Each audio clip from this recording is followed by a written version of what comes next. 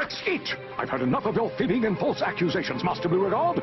From now on, no more TV, no more video games, and no more... Uh, what else do you like? I like paddleball. No more paddleball! Until